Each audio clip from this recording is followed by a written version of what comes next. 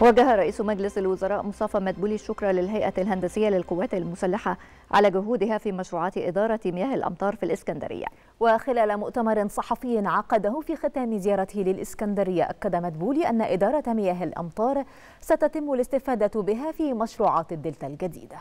السنة اللي فاتت إحنا بدأنا تنفيذ منظومة متكاملة بننفذها النهارده علشان نفصل الحقيقة شبكة الصرف الأمطار عن الصرف الصحي. عشان يبقى كده نقدر على طول بمجرد نزول الأمطار بنقدر نصرفها بصورة سريعة والأهم إن إحنا نبدأ توجيه هذه المياه مياه الأمطار إلى مناطق معينة لمجموعة من البحيرات والمصارف والترع اللي بعد كده هي داخلة معانا في مشروع الدلتا الجديدة. يعني بنستفيد من هذه المياه إن إحنا بنوجهها إلى أماكن الترع والقنوات اللي بعد كده بتوجه إلى مشروع الدلتا الجديدة. وده مشروع عملاق طبعا كلنا بنتابعه كمشروع قومي للدولة المصرية.